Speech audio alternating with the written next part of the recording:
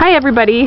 This is a tip that we featured in pictures a while back, but I thought I would do a video of it. And this is actually a little different than I did in the um, pictures. I used this uh, electric parts cleaner to spray on the mat and then I let it sit for a minute and I actually saw this tip on another video but I don't remember who it was or where I saw it. I saw it on YouTube somewhere. So then you just scrape all of the gunk off which is a lot easier than what my original tip said which was to just wash your mat. So you see all the gunk? So then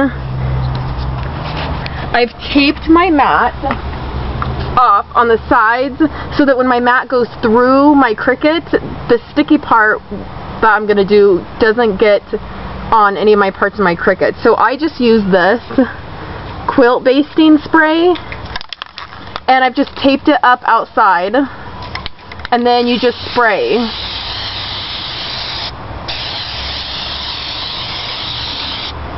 And let dry and then remove the tape and you have a practically a brand new mat. Thanks everybody.